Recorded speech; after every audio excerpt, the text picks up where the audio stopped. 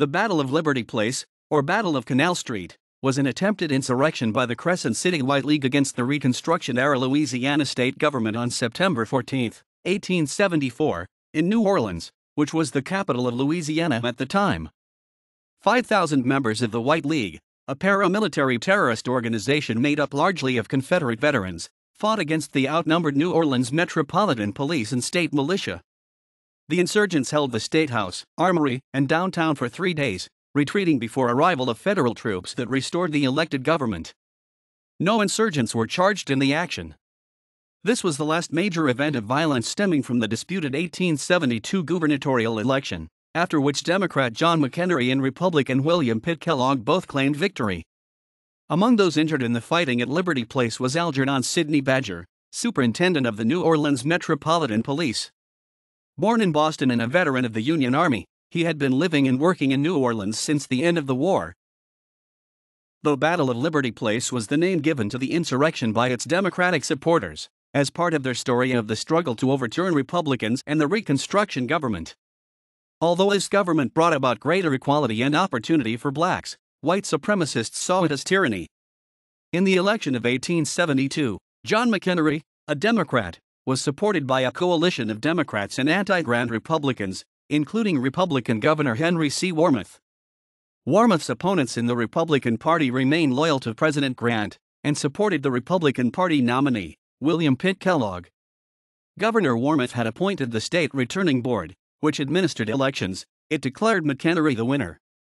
A rival board endorsed Kellogg, who had charged election fraud because of the violence and intimidation that took place at and near the polls, as Democrats tried to suppress black voting the legislature impeached Warmoth from office and removed him for stealing the election. Lieutenant Governor P.B.S. Pinchback became governor for the last 35 days of Warmoth's term. Both McEnery and Kellogg had inaugural parties and certified lists of appointed local office holders. The federal government eventually certified Kellogg as the governor of the state. Similarly, Republican C.C. Antoine was certified lieutenant governor over Democrat Davidson Bradfute Penn. In an earlier violent incident related to the disputed election, in April 1873, the Colfax massacre occurred at the courthouse in Grant Parish when a white militia attacked freedmen defending appointed Republican office holders. This action was also related to political tensions between whites and blacks. In Colfax, three whites and a total of 150 blacks were killed, at least 50 of the latter after having been taken prisoner. In 1874, McEnery and his allies formed a rump legislature in New Orleans, then the location of state government. The paramilitary White League entered the city with a force of 5,000 to seat McEnery. They fought against 3,500 police and state militia for control. The White League defeated the state militia, inflicting about 100 casualties.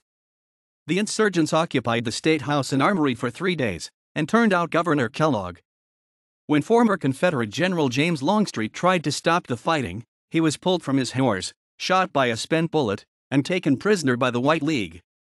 Kellogg wired for federal troops and, within three days, President Ulysses S. Grant sent federal troops there. The White League insurgents retreated from New Orleans before the federal troops arrived, and no one was prosecuted.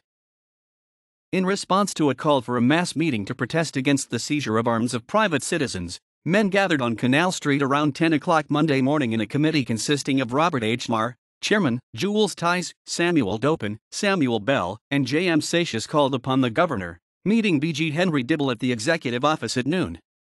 The governor refused to meet and considered the committee as representing now armed masses a menace. Marr declared that the masses were unarmed, but Dibble countered that while those on Canal Street may be unarmed, beyond there were armed bodies assembled for the same purpose. About 4 o'clock in the afternoon, self proclaimed Lieutenant Governor D.B. Penn made a proclamation calling on the militia of the state to assemble for the purpose of driving the usurpers from power. Frederick Nash Ogden was appointed Provisional General of the Louisiana State Militia, here representing the White League. By Penn, and a statement was made to blacks in Louisiana that their rights and property should not be harmed. Already by 3 p.m., armed men were stationed at the intersection of all streets on the south side of Canal Street, from the river to Claiborne Street. At 4 p.m., a body of Metropolitan Police with cavalry and artillery, commanded by Longstreet, arrived at Canal Street and ordered the armed citizens to disperse. Once firing began, however, the police broke and the White League captured one piece of artillery. The White League then captured City Hall and the fire alarm telegraph and built a barricade along Poydras Street and from that street to the canal. A company of U.S. troops protected the Custom House, but was not involved in the initial conflict, while the White League held the portion of the city above the canal and massed around Jackson Square and the St. Louis Hotel. Most of the barricades were made with street railroad cars. Out among the police killed were Sergeant James McManus, Sergeant J.K. Champagne, Corporal J.F. Claremont, Officers J. Hill, E. Simmons, J. Shields, and H. Ballard. Among the White Leaguers killed were E. Ladano, Frederick Mormon, Dick Lindsay, Cat J. M. West, Major J. K. Gordine, and journalist J. M. Cleet. Badger's leg was crushed when his horse was killed under him and he had his leg amputated. Many more were injured, including customs agent and future activist historian Rodolphe Lucien Desdunes. Kellogg, Longstreet, and others took refuge in the custom house on the 14th and the 15th.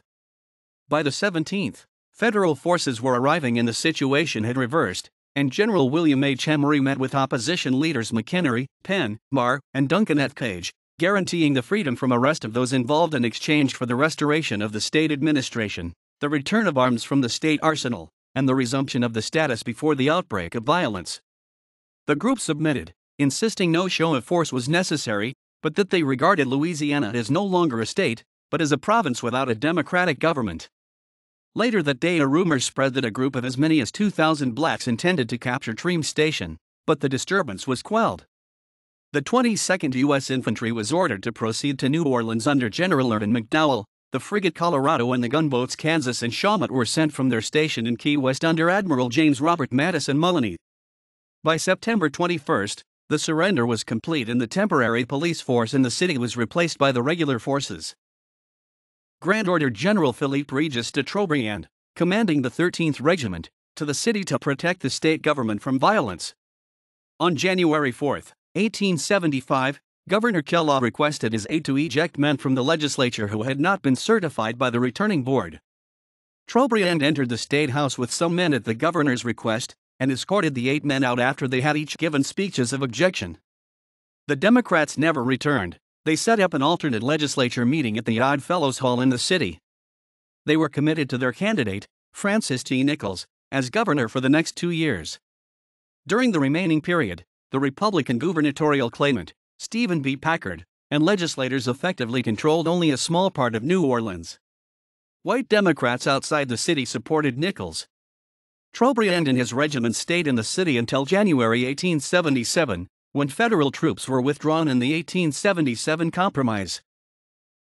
In 1891, the city erected the Battle of Liberty Place monument to commemorate and praise the insurrection from the Democratic Party point of view, which at the time was in firm political control of the city and state and was in the process of disenfranchising most blacks. The white marble obelisk was placed at a prominent location on Canal Street. In 1932, the city added an inscription that expressed a white supremacist view. In 1974, the rethinking of race relations after the civil rights movement caused the city to add a marker near the monument explaining that the inscription did not express current philosophy. After major construction work on Canal Street in 1989 required that the monument be temporarily removed, it was relocated to a less prominent location and the inscription was altered to say in honor of those Americans on both sides of the conflict.